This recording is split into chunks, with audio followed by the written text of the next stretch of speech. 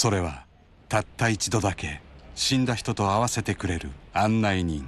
死んだ人との再会を叶えてくれるつなぐっていう人がいるらしいんだよ。面白い。それご依頼の件で来ました。僕がつなぐです。お前が？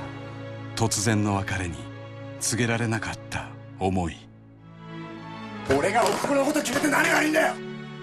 もう一度謝りたくて大変美園が交通事故で運ばれたって僕が騙されてて今もどこかで生きてるならそれでいいんです。父さんと母さんが死んだ本当の理由って何？つなぐでどっちかに会えば。どうして俺を置いて死んだのかが分かる？ばあちゃんは？はい。父さんに会いたい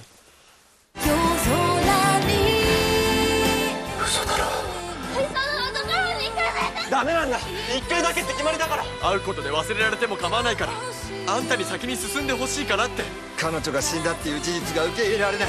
本当に今日しかないんだ。